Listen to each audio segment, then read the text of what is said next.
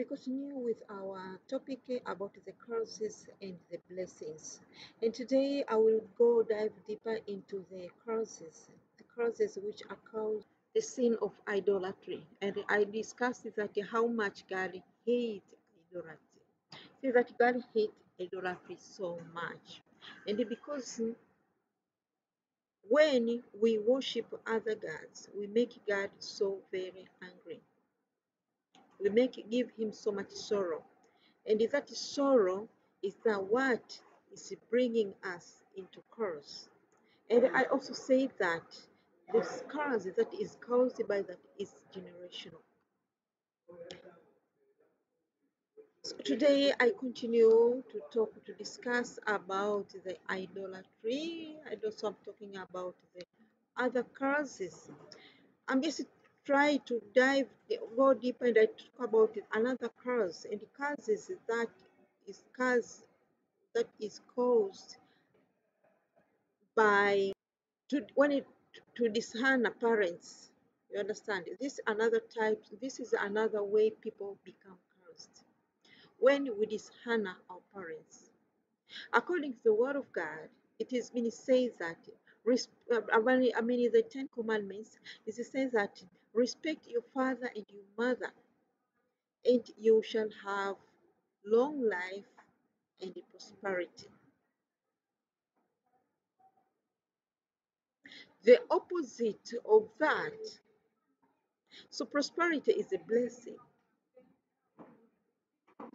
Long life is a blessing. The opposite of that is curse.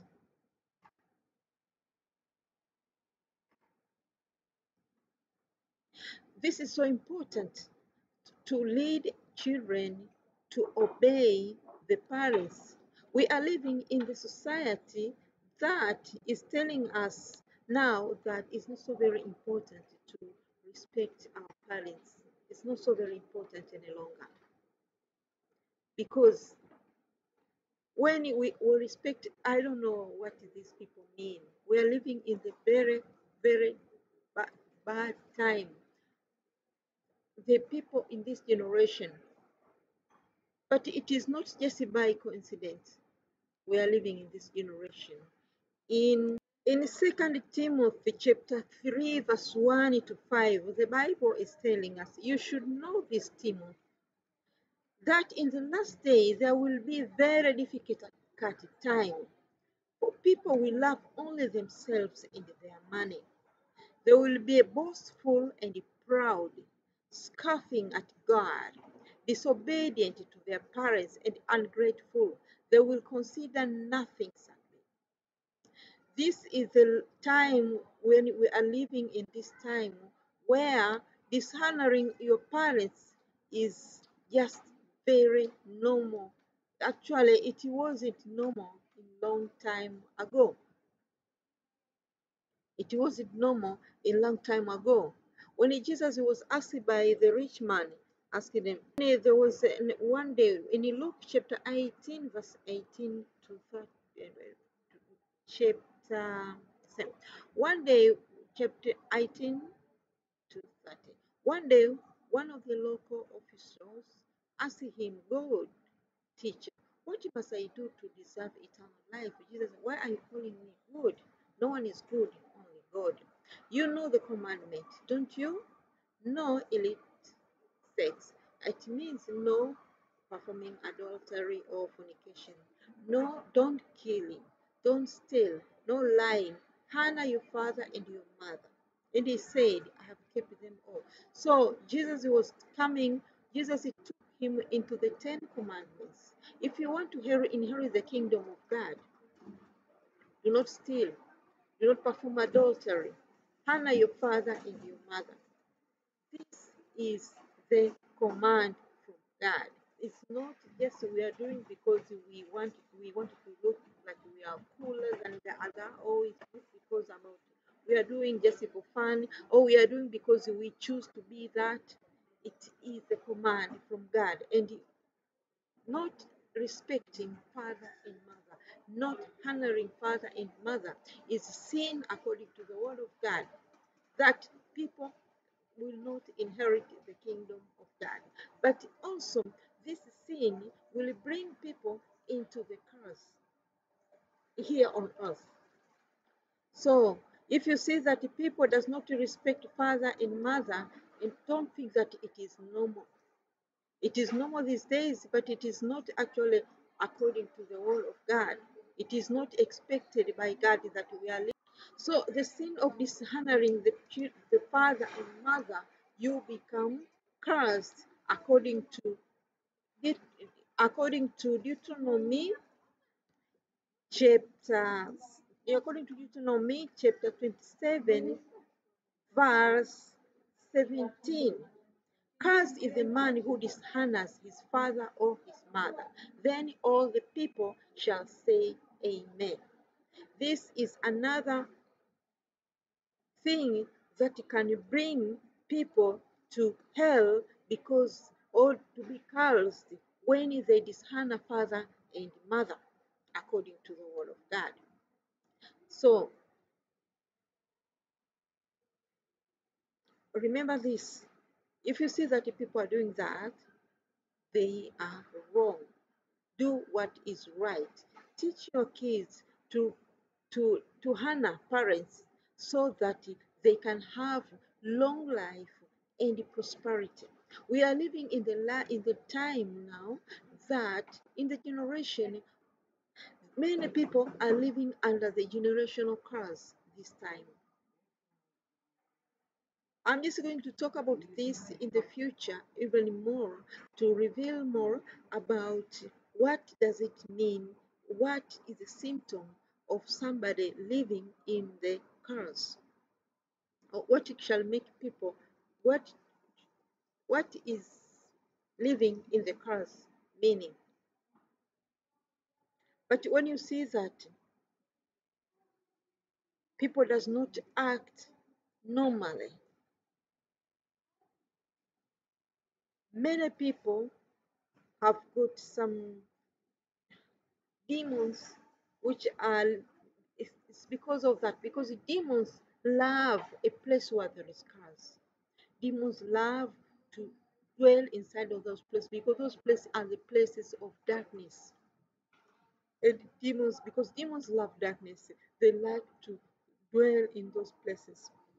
So when you see that people's bodies mentality actions and everything and most of all prosperity and everything are is all about because of that curse. And when people pray god does not listen to them. In some so in genesis we can also read from in genesis chapter we can also read in, in genesis when noah noah became drunk Genesis chapter 9, verse chapter 9. Um, we read that after when Noah came out of the come out of the ark, he became drunk. And when he became drunk, he was sitting and the things was showing. And Noah had a son. His name was Ham. And when Ham came to, to So his father was sleeping, he was sleeping like this, he was drunk, and he, he was naked. I mean, his the clothes he fell down and he was naked, and the things was showing up. And he, this son was laughing and he wanted to tell his brothers in the way of disrespect, uh, dishonoring, disrespecting, up. And the, his two brothers, one is called Shem and another called Joseph. I I don't remember his name. This brother, he came and they the two brothers they took a cloth and they came backward until when they covered their father with a cloth. And so their father woke up. And when he woke up, he heard the story. The father spoke the words. He cursed the son of Ham It tells that Christ is the son of Ham. His name is, I just don't remember his name. If you read in the Bible, you see from that generation of his son, and this son, we see that his children until 10th generation. Because it's after because it's their generation to until the 10th generation of this generation of these children of Noah it was the generation of Abraham Lot and other. And uh, so it means that in this 10th generation this is the place we found that the, the children of Ham many of them they went to, to, to, to, to settle in these areas of Sodom and Gomorrah. And in 10 generation, we saw that this is a generation, most of them were burnt by fire by God. The rest of them, them went to live in Canaan. And this is a generation we see that God was casting them out of Canaan, and he wanted a child of Shem, who is Abraham, to go and settle there. And he wanted him to go to give this place to Abraham, but he cast out these people of Canaan. It's because the behaviors, you know, some kind of, they become like some kind of I think it has so much to do with we know when it's where there is cars, demons like to settle there. And when people have demons, they are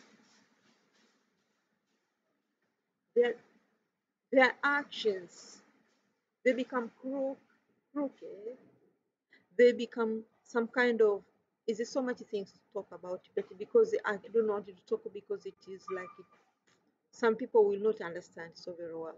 So I'm just trying to give this revelation. You can read in the Bible yourself and think yourself why there is some other people have different uh, have problems in their lives.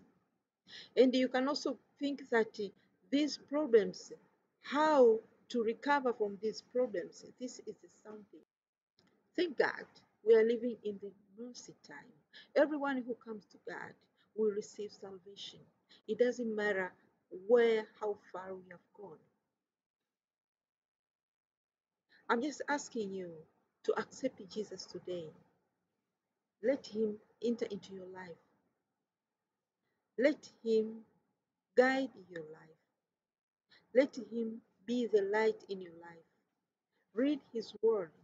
Word, live His Word, and walk His Word. You will see the changes in your life.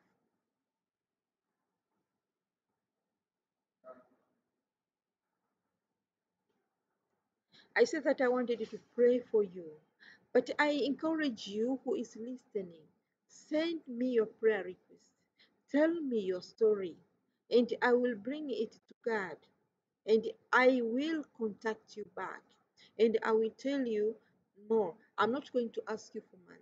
I never ask people for money online. And if somebody asks you for money on my name, that person is a thief. I never do that. May God bless you so much, child.